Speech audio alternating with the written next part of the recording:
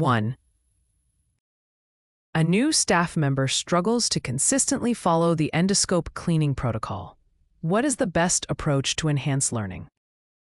A. Provide written instructions only. B. Observe their process and give immediate feedback. C. Assign them more shifts to practice independently. D. Wait for them to improve over time. 2. During a competency assessment, a trainee repeatedly misses steps in the pre cleaning process. What is the most effective teaching strategy? A. Give a verbal lecture on steps.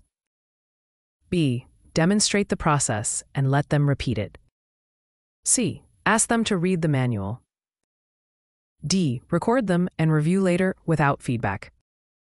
3. Which method is most effective for adult learners to retain reprocessing procedures? A. Rote memorization. B. Hands on simulation with guided practice. C. Watching a single demonstration. D. Reading policy documents only. 4.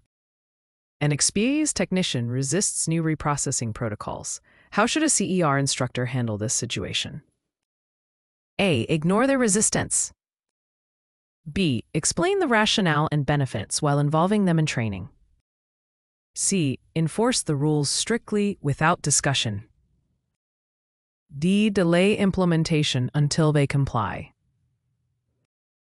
5.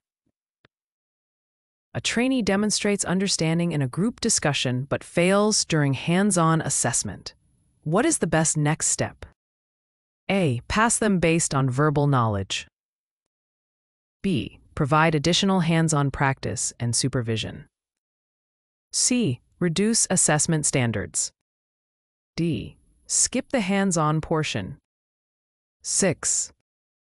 When introducing a new automated endoscope reprocessor, what is the most effective training approach for adult learners?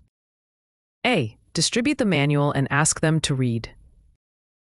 B. Provide live demonstrations with supervised practice. C. Give a written quiz only. E. Assume prior knowledge is sufficient. 7. Which feedback method best supports adult learners' skill development in endoscope reprocessing? A. Immediate, specific, and constructive feedback. B. General comments after several leaks. C. Critique in front of the group without guidance. D. Feedback only through emails. 8. A learner asks repetitive questions about the same step during reprocessing training. What approach aligns with adult learning principles? A. Ignore the questions.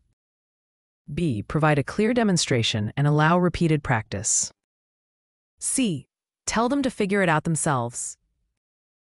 D. Skip the step to save time. 9. To evaluate a CER trainee's competency, which method is most effective? A. Written multiple choice exam only. B. Direct observation of hands on skills with feedback. C. Group discussion only. D. Self assessment without supervision. 10. A staff member completes reprocessing faster than average but misses key steps. How should an instructor address this? A. Praise speed only. B. Emphasize accuracy and critical steps through coaching. C. Reduce training time. D. Allow them to continue without correction. 11.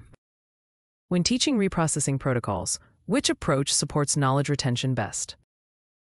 A. Present information once in a lecture. B. Use repetitive scenario based simulations. C. Only provide written instructions.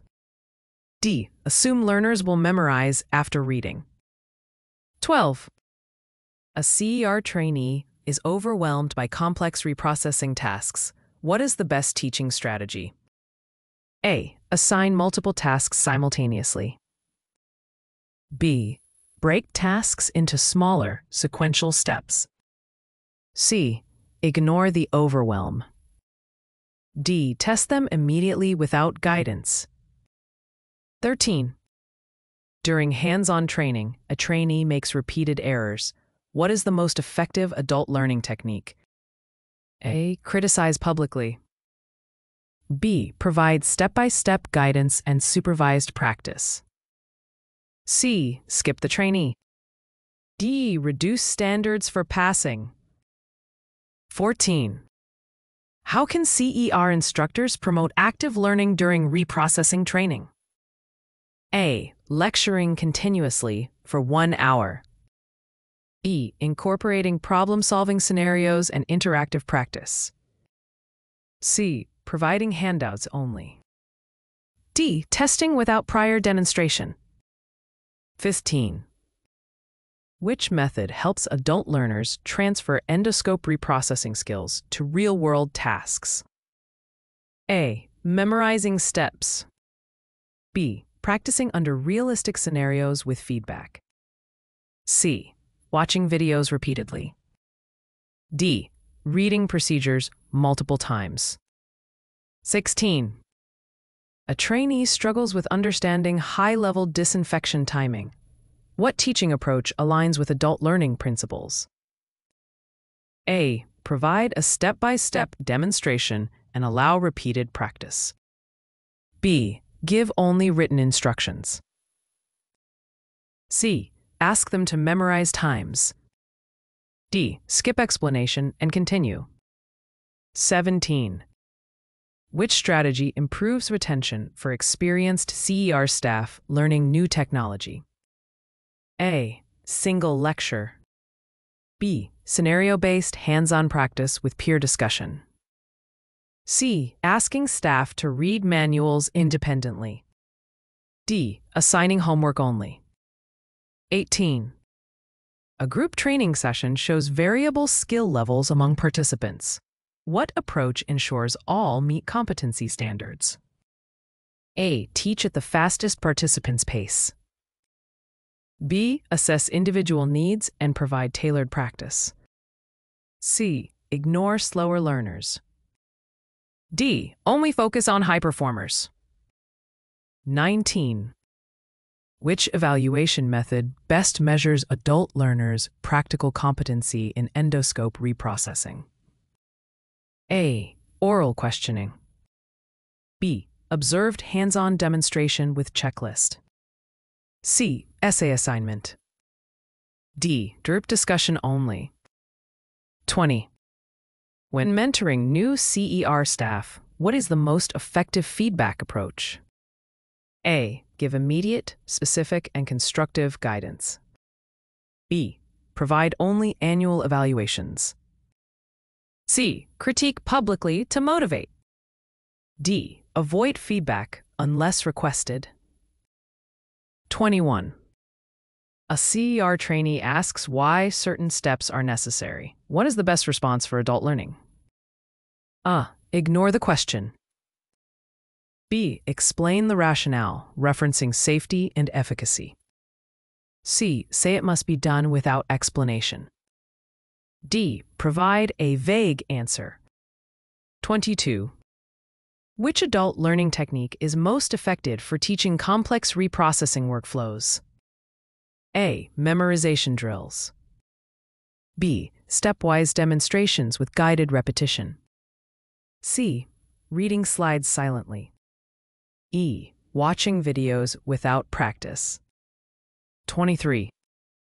A trainee refuses to participate in hands on practice. How should an instructor respond?